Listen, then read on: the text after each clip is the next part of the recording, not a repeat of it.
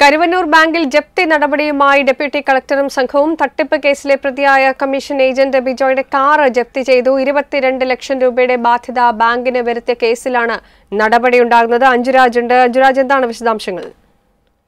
കരുവന്നൂർ ബാങ്കിൽ നടപടിയുമായി ജില്ലാ ഭരണകൂടം മുന്നോട്ട് പോകുന്നു എന്നുള്ളതാണ് ഏറ്റവും പ്രധാനപ്പെട്ട കാര്യം. ജില്ലാ കളക്ടർ കഴിഞ്ഞ ദിവസം ഉത്തരവിട്ടിരുന്നു കരുവന്നൂർ ബാങ്കിലെ ഈ സഹകരണ വകുപ്പ് തന്നെ ഇതുമായി ബന്ധപ്പെട്ട റിപ്പോർട്ട് കളക്ടർക്ക് കൊടുത്തിരുന്നു. ഇത് പ്രകാരം കരുവണ്ണൂർ ബാങ്കിന്റെ ഇരുപത് മുൻ ഡയറക്ടർ ബോർഡ് അംഗങ്ങൾ മുൻ സെക്രട്ടറി മുൻ മാനേജർ ഉൾപ്പെടെ അങ്ങനെ ഇരുപത്തി അഞ്ച് പേരിൽ നിന്നായി ജപ്തി നടപടികൾക്കുള്ള ഉത്തരവാണ് കഴിഞ്ഞ ദിവസം കൊടുത്തത്. അതിന്റെ ഭാഗമായിട്ടാണ് ഇപ്പോൾ കരുവന്നൂർ ബാങ്കിലെ കമ്മീഷൻ ഏജന്റ് ആയിരുന്ന ഡയറക്ടർ ബോർഡ് അംഗമായിരുന്ന ബിജോയിയുടെ കാർ ഓടി കാറാണ് ഇപ്പോൾ ജപ്തി ചെയ്തിരിക്കുന്നത്.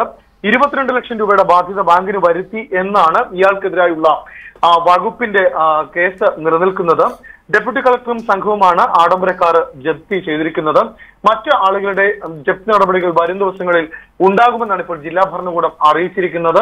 അതിൽ ഏറ്റവും പ്രധാനപ്പെട്ട കാര്യം ബാങ്കിന്റെ മുൻ പ്രസിഡന്റായ കെ കെ ദിവാകർ ഉൾപ്പെടെ ആറ് ഡയറക്ടർ ബോർഡ് അംഗങ്ങളിൽ നിന്ന് എട്ട് ദശാംശം മൂന്ന് മൂന്ന് കോടി രൂപ വീതവും എസ് നാരായണൻ ഉൾപ്പെടെയുള്ള ഏഴ് ഡയറക്ടർമാരിൽ നിന്ന് ആറ് ദശാംശം ഒന്ന് ഒന്ന് കോടി രൂപയും ഉൾപ്പെടെ വിവിധ തുകകളാണ് ഈ ഡയറക്ടർമാരിൽ നിന്ന് ജപ്തി ചെയ്യണം ചെയ്യാനായി ജില്ലാ കളക്ടർ ഉത്തരവിട്ടിരിക്കുന്നത്. അതിന്റെ ഭാഗമായുള്ള ജപ്തി നടപടികളാണ് ഇപ്പോൾ തുടങ്ങിയിരിക്കുന്നത്. ശരി അഞ്ജുരാജ്.